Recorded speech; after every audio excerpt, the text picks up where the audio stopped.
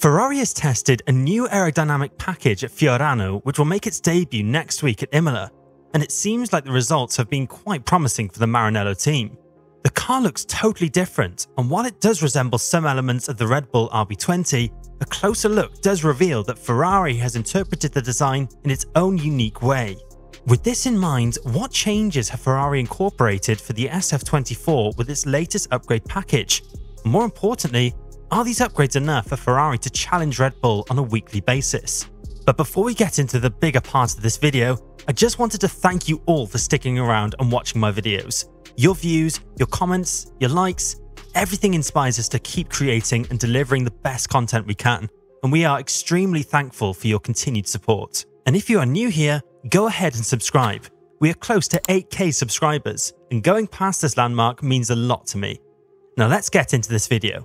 Ferrari started the 2024 season with an SF24, which was regarded as a conservative car, a base which hosted a conventional concept which opened up avenues for development for Enrico Cardile's technicians.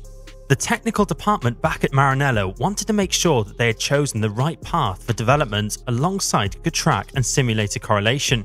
Since the initial filming day and pre-season testings, the feelings at Maranello have been positive, this prompted the Ferrari engineers to continue development in the wind tunnel, exploring different avenues for in-season development.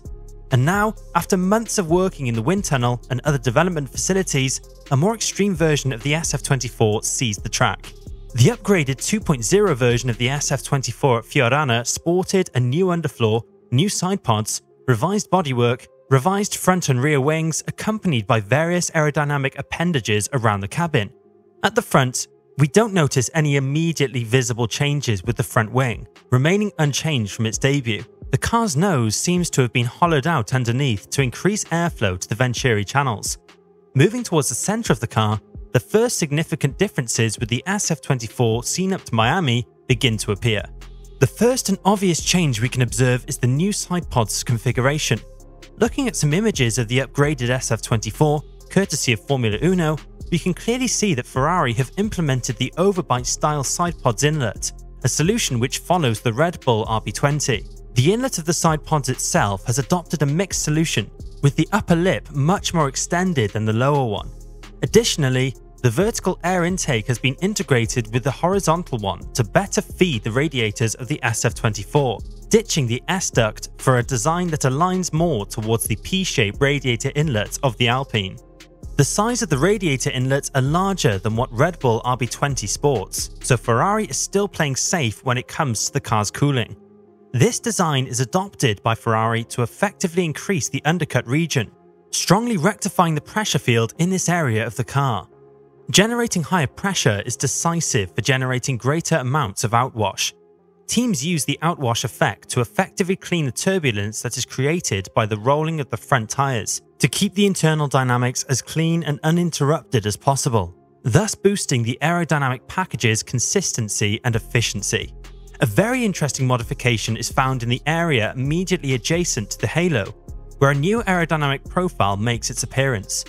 Up to the Miami Grand Prix, we saw a carbon portion connecting the halo to the side pods, but now the solution has radically changed. The solution we find now on the SF24 is entirely anchored to the upper part of the side pods, the shape is quite Cobra-esque and has the clear function of a vortex generator, with the upper end curved outwards. The task of this element is to guide the air over the downwash of the side pods and energize it. Ferrari also have made revisions to the mirror attachments, as the mirror supports have been elongated, most likely the team chasing small aerodynamic gains and also helps to manage the airflow above the side pods. Moving further back, we can find a modification linked to the one previously described. The engine cover has a new shape in the area, just behind the halo to accommodate the new larger air vent. To improve the extraction of hot air, the rear part where the Santander's sponsor's logo is present has been modified. A bulge has been created to the left of the S to accelerate the flow of hot air and direct it towards the rear with greater energy.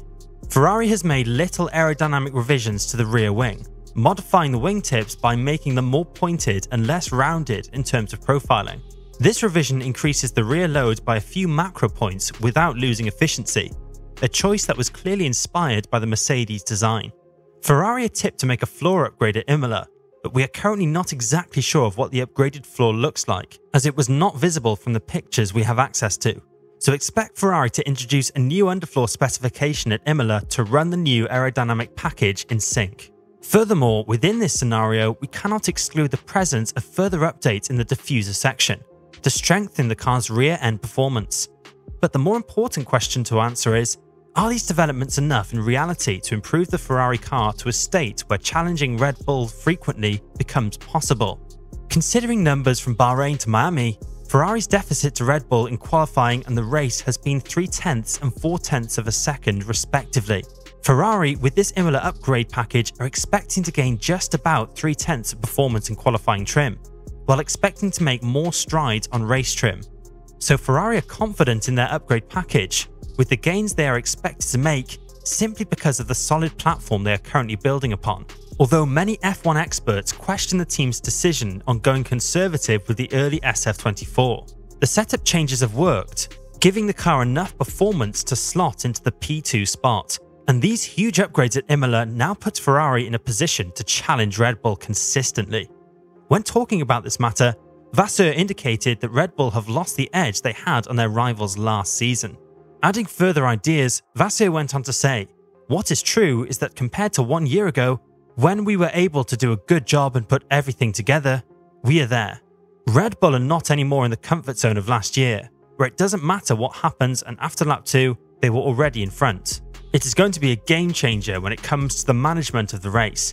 This is an opportunity for us because if we are taking another small step, I think we will really be in a position to fight with Red Bull every single weekend. This is, however, not the way Red Bull are seeing things, as the Austrian team believes that their upgrades at Imola are going to be just enough to outpace their rivals. What this essentially means is the upgrades Red Bull are bringing to Imola must fail to an extent in order to have a successful and competitive season in 2024. And judging by the latest comments from Adrian Newey, who spoke about the RB20 of recent, there seems to be a slight possibility of this happening. When expressing his views on the RB20, Adrian Newey said, this car is the third evolution of the 2022 car under this rule set. We have one more year before the huge change in 2026, so we are always searching for little bits and pieces. The fundamental structure of the car has remained the same, but I mean, for instance, that there is one feature on the car that I'm not terribly happy with this year, and that is something that will either change later in the year or probably more likely will be re altered for next year. Having had a first look at Ferrari's upgrades for Imola, what do you guys think? Can Ferrari on merit match Red Bull in terms of outright pace for race wins on a fair and square battle this season, starting from Imola? We are very much into your thoughts and perspectives in the comment section down below. And on your way down, don't forget to subscribe to the channel to get notified of our future uploads to keep yourselves up to date about the 2024 Formula One season.